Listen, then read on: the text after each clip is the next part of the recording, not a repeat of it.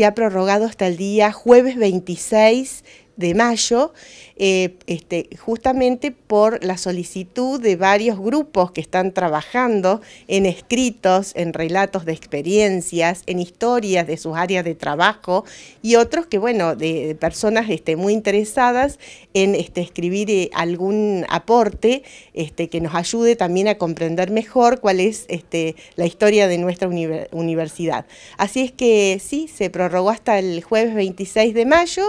y este, y bueno, este, estamos siempre dispuestos para eh, ofrecer la información y la orientación que necesiten, a pesar de que, bueno, la convocatoria creemos es bastante explícita en ese sentido,